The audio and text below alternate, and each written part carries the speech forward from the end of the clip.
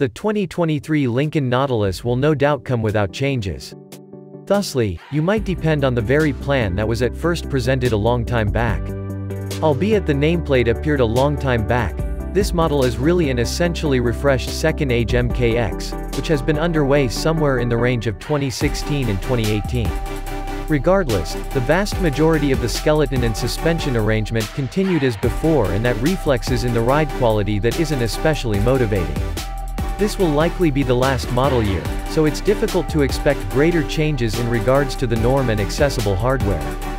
Consequently, we hope to see base models with treats like double zone environment control, remote beginning, a 12.3-inch computerized instrument group, a 13.2-inch contact screen, a 10-speaker sound system, satellite radio, Bluetooth, USB ports, a Wi-Fi problem area, and remote Apple CarPlay and Android Auto.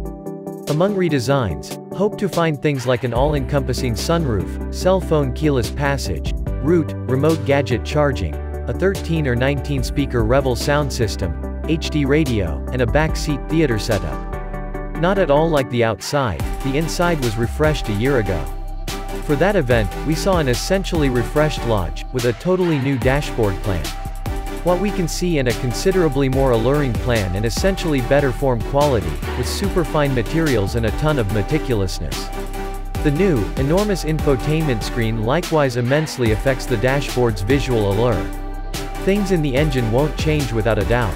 In this way, hope to see base models furnished with a recognizable 2.0-liter Super 4, which puts out around 250 strength.